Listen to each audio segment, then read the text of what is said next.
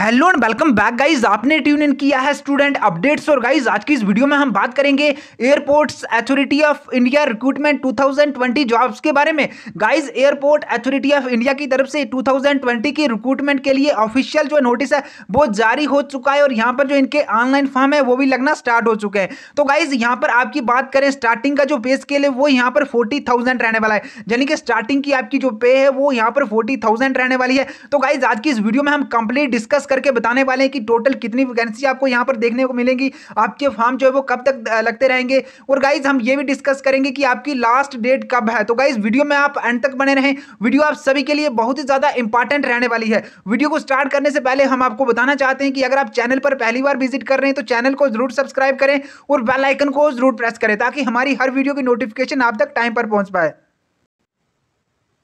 तो गाइज़ जैसे कि आप यहाँ पर देख पा रहे हैं एयरपोर्ट्स अथॉरिटी ऑफ़ इंडिया की तरफ़ से ये नोटिस जारी किया गया है। और गाइज़ यहाँ पर जो आपको ये जॉब्स देखने को मिलेंगी, ये आपको यहाँ पर मैनेजर और जूनियर एग्जीक्यूटिव की देखने को मिलेंगी। तो गाइज़ सबसे पहले हम बात करेंगे कि आपकी एज कितनी होनी चाहिए। तो गाइज़ यहाँ पर जो बात करें आपकी एज की तो यहाँ पर जो है, आपकी एज जो है थर्टी से कम होनी चाहिए। यहाँ पर आप देख पा रहे हैं, अगर आप मैनेजर की पोस्ट के लिए अप्लाई करते हैं तो थर्टी से आपकी कम एज होनी चाहिए। अगर आप जूनियर एग्जीक्यूटिव की पोस्ट के लिए अप्लाई करते हैं तो आपकी जो है ट्वेंटी ईयर से कम एज होनी चाहिए।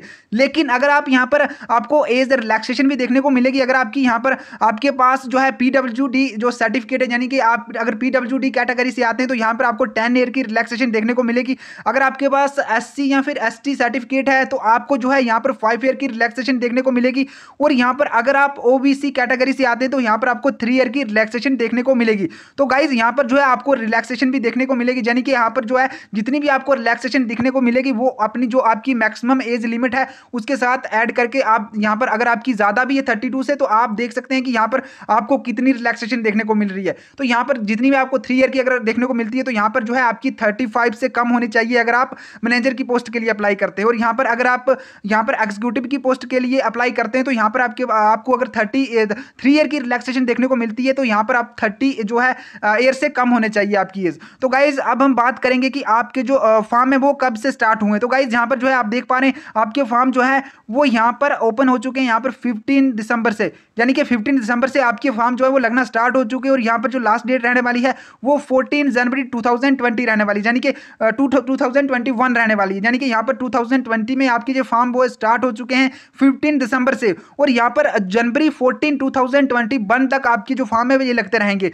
और गाइज़ यहाँ पर बात करें आपकी जो डेट एग्ज़ाम की जो टेंटेटिव डेट होती है, जो आपका ऑनलाइन एग्ज़ाम होगा, फिर आपकी सिलेक्शन होगी तो यहाँ पर जो है ये आपको जब अपना फॉर्म फिल करेंगे, तब आपको ये पता नहीं होगा कि आपकी जो एग्ज़ाम है वो कब होगा। ये बाद में आपको जो है इन्फॉर्म कर दिया जाएगा ए ए आई की ऑफिशियल वेबसाइट में। यानी कि एयरपोर्ट्स अथॉरिटी ऑफ़ इंडिया की जो ऑफिशियल वेबसाइट है, यहाँ पर अपना फॉर्म फिल करेंगे। वहाँ पर जो है कुछ समय के बाद आपको बता दिया जाएगा कि आपका जो आपका एग्ज़ाम है वो कब होगा। तो गाइज़ अब हम बात करते हैं कि आपकी जो पे स्केल है वो कितना रहने वाली है। तो गाइज़ सबसे पहले हम बात करेंगे कि मैनेजर की पोस्ट जो है, उसके लिए यहाँ पर आपका पे स्केल है वो सिक्सटी थाउज़ेंड गाइज़ सिक्सटी से आपका जो स्टार्टिंग पे रहने वाली है। ये बढ़कर बढ़कर आपकी जो है वन लेख एटी थाउज़ेंड तक जा सकती है। और गाइज़ बात करें जूनियर एग्जीक्यूटिव की जो यहाँ पर पोस्ट है, यहाँ पर जो है आपकी जो पे स्केल है, ये स्टार्टिंग जो है आपकी यहाँ पर फोर्टी थाउज़ेंड रहने वाली है। और यहाँ पर जो है ये बढ़कर आपकी वन लेख फोर्टी थाउज़ेंड जो है तो जा सकती है। तो गाइज़ यहाँ पर जो है आप अगर इस पोस्ट के लिए अप्लाई करना चाहते हैं तो यहाँ पर अप्लाई कर सकते हैं। तो गाइज़ अब हम बात करेंगे कि आपकी टोटल कितनी पोस्टेज आपको यहाँ पर देखने को मिलेंगी। तो गाइज़ सबसे पहले हम बात करते हैं जो मैनेजर की पोस्ट है। तो गाइज़ यहाँ पर जो है मैनेजर की पोस्ट जो दो तरह की पोस्टेज आपको देखने को मिलेंगी। यानी कि जो फायर सर्विसेज़ में और यहाँ पर दूसरी जो है टेक्निकल में मैनेजर की पोस्ट देखने को मिलेगी। तो यहाँ पर जो है आपके पास फाइव ईयर का वर्क एक्सपीरियंस होना चाहिए दोनों के लिए।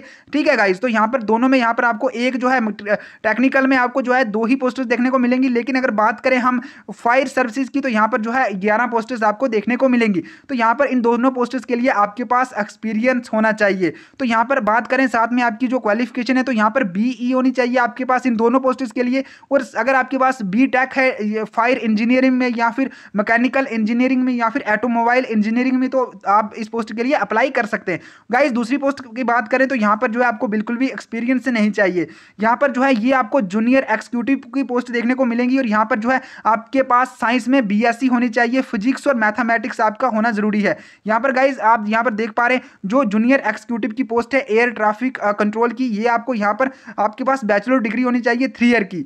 उस साइंस में जिसको यहाँ पर बीएससी बोलते हैं और यहाँ पर आपके पास फिजिक्स होना ज़रूरी है ठीक है? मैथमेटिक्स और फिजिक्स होना ज़रूरी है। और गाइज़ बात करें इसमें एक्सपीरियंस की जो है बिल्कुल भी ज़रूरत नहीं है। आपकी को, कोई आपको एक्सपीरियंस नहीं चाहिए इन पोस्टर्स के लिए।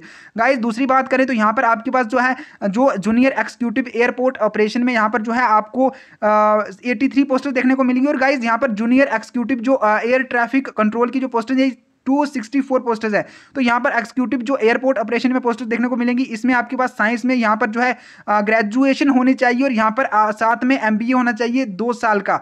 तो गाइज़ इसके बाद अगर बात करें तो यहाँ पर जो है, आपको जो पोस्टर देखने को मिलेंगी, वो यहाँ पर जूनियर एक्सिक्यूटिव की टेक्निकल में देखने को मिलेगी। तो यहाँ पर गाइज़ बात करें आपकी क्वालिफिकेशन की तो यहाँ पर जो है, इसमें भी आपका कोई भी एक्सपीरियंस नहीं चाहिए, सिर्फ़ आपके पास बीई होनी चाहिए, या फिर बी डिग्री होनी चाहिए। ऑटोमोबाइल्स में हो, या फिर मैकेनिकल में हो, आप इस पोस्ट के लिए भी अप्लाई कर सकते हैं। तो सबसे ज़्यादा गाइज़ पोस्टर जो है, वो टी टू जो है, सिर्फ़ आपको जूनियर एक्सिक्यूटिव में देखने को मिलेंगी। तो गाइज़ अगर आप इन पोस्टर्स के लिए अप्लाई करना चाहते हैं तो अप्लाई कर सकते हैं। गाइज़ अगर आपको कोई डाउट रहता है, आप हमें कमेंट करके पूछ सकते हैं, हम आपका रिप्लाई ज़रूर देंगे। आप इस वीडियो को शेयर ज़रूर करें ताकि दूसरों की भी हेल्प हो सके। Thanks for watching